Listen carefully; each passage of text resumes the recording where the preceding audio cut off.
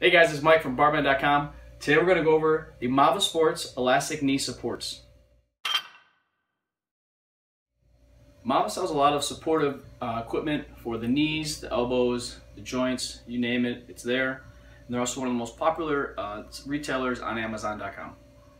So some pros of the Mava Sports knee supports.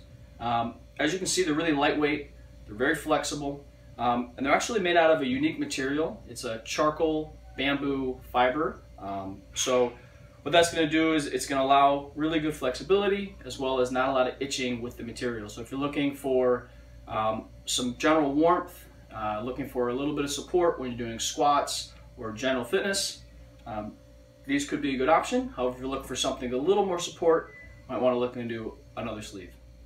So a con here of these knee supports, um, while they are stretchy, uh, if you're looking for something a little more support, these may not offer uh, as much as you would like.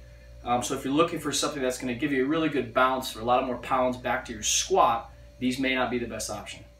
So we're going to go over the sizing here for the Mava Sports knee supports.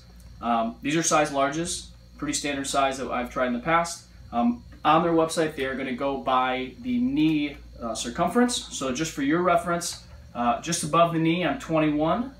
On top of the kneecap, I'm 15, and just below I'm 14, which puts me right in line for the larges.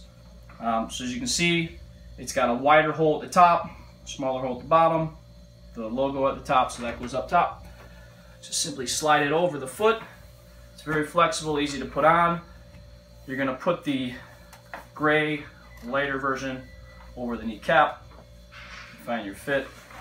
There you go. Yes, Bobby, put it on. Four